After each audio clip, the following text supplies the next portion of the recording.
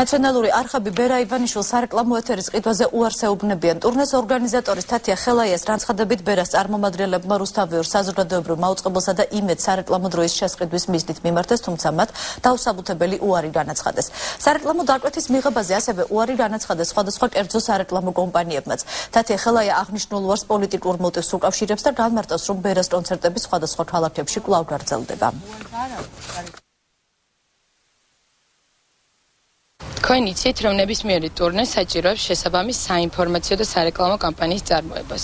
ჩვენ სარეკლამო დროის ყიდვის თხოვნით მივმართეთ ნაციონალურ ტელემაუწყებლებს, რუსთავიორს, იმედს და საზოგადოებრივ მაუწყებელს. საინტერესოა საზოგადოებრივ მაუწყებლის პოზიცია, რომელიც თითოეული ჩვენთაგანის მიერ გადახდილი ფულით ფინანსდება და მათი პასუხიც ასევე ანალოგიური უარგუმენტო უარი იყო სარეკლამო დროის ყიდვაზე.